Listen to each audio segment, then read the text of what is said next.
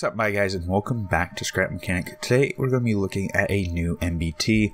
Now I know the MBT series has been on a hiatus for quite some time now and I think I finally have something worth showing.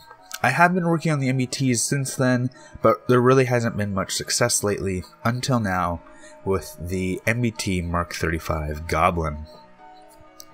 Now some people may already be um, aware of this tank. I have been talking about it on my Discord channel and a few other places as well. But it is pretty much purpose built to replace the Wyvern. It's kind of been a running joke that the Wyvern is such a good tank that it will never be replaced, but hopefully the Goblin gives the Wyvern a run for its money. Or, this is more specifically a Drake. Um, I haven't really touched on it much in most videos, but I have been making different variations of the Wyvern with some of the new tech to help keep it relevant, such as the Drake and the Drago. So let's go ahead and look at the Goblin itself with a little bit more depth. Let's go ahead and hop into the seat. There's some steps here. And take a quick look around. You will notice two main things. First is the active denial system, which are these guns here. And you will notice the camo is a bit differently. Um, I am kind of testing out this camo since a lot of people do use the darker camos in my uh, little tank battle community that I have. So I wanted to try it out for myself and see how well it works. So, for the most part, this has a lot of the same features, a lot of the same things the Wyvern does, with some added, uh, some added features, but mostly just improvements on old things. So, kind of the two big discoveries slash changes is first off the active denial system. Essentially what this is is it shoots a high concentration fire of spuds at the enemy. You want to try and aim it for their gun mantlet, which means whenever they shoot a round at you, it has to travel through this beam to hit you. And the longer it's in this beam, the higher the chance is that you can actually disable their round, either by making it explode getting it knocked off course, or doing something else to the round that makes it ineffective against you. Now, unfortunately, I don't have any footage of the Goblin using this system, but I do have some test footage I recorded at another date um, to give you an idea of what it is going on behind the scenes. I kind of do plan on making another video going a little bit more in depth on the active denial system. Um, another thing to note with it is it is not attached directly to the gun in any way behind this little panel here. Oh, I fell off the tank.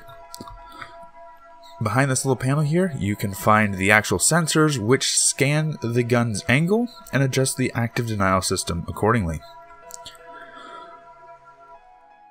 So the active denial system itself technically isn't stabilized, but it will always try and match the gun's position, so it is to some respects and it is hooked up to the aiming machine gun so that whenever you fire the aiming machine guns, you also fire the denial system.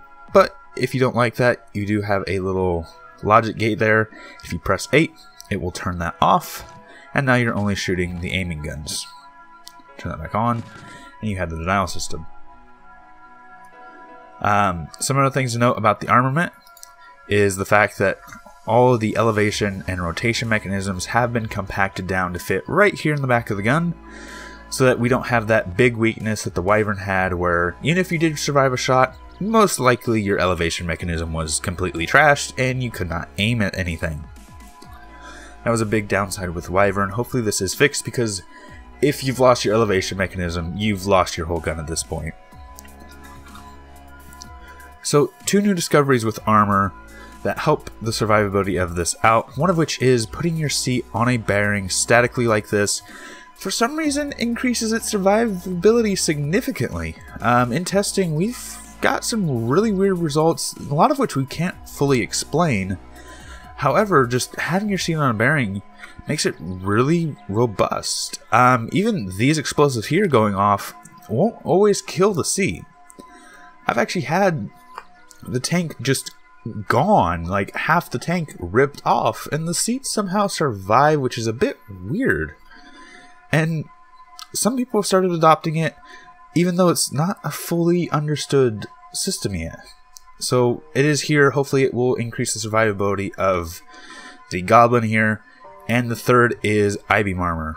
Now, I-beam armor is not a new thing. However, it kind of got abandoned by a lot of people, including myself.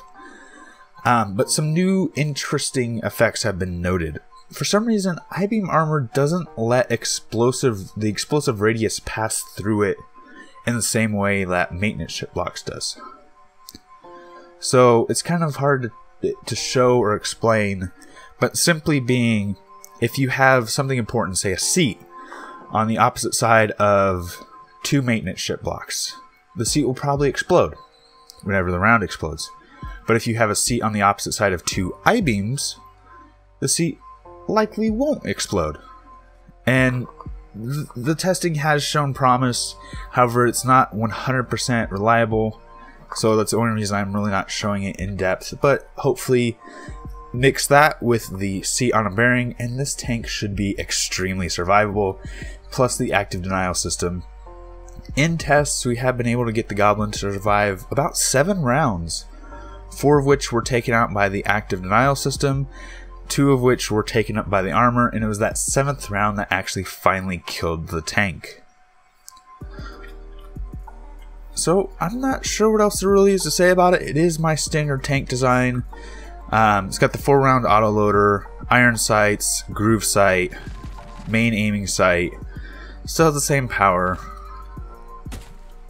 And there goes the Wyvern but hopefully it will be an overall better tank than the Wyvern and the Drake were. As much as I love the Wyvern, I think it's about time for it to be retired. Um, I'm not 100% sure if I mentioned the camo yet or not. Um, simply put, I'm using a bit of a darker camo since it's just kind of a popular thing in the tank building community. Usually I use a lighter camo to match the grassy plains like this, However, I have noticed that the darker camo does blend in a lot better in situations such as this, where I am on a hill with a bit of a darker camo to it and some shadows. Um, so far, the white, or, or sorry about that. So far, the goblin, I keep getting names messed up.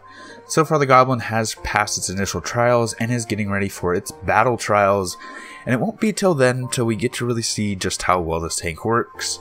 So fingers crossed and high hopes that this may be the next main battle tank to see active and continuous service.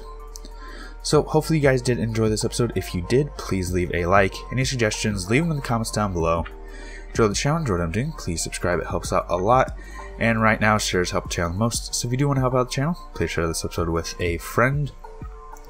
Until next time, thanks for stopping by, thanks for sticking around, and until next time, peace.